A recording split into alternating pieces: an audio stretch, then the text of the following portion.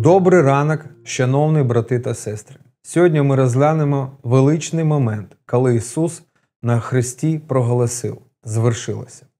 Це не просто слова, це завершення плану спасіння, який Бог приготував для кожного з нас.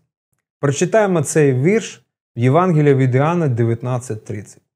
Спробувавши оцту, Ісус сказав: Звершилося, і, схиливши голову, віддав духа.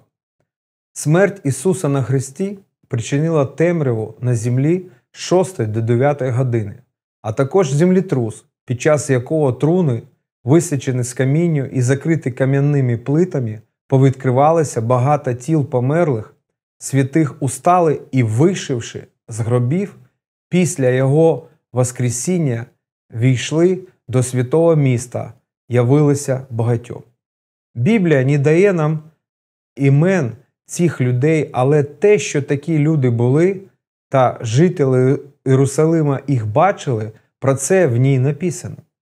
Ісус здійснив спокуту на Христі, і вона була настільки могутньою, що коли Він помер, багато людей воскресли. Це знаміння для вірян. Хто помре у Христі, той і оживе в ньому. Нехай благословіння Господня наповнює ваші серця миром і радістю, адже в Ісусі ми отримали все необхідне для нашого спасіння.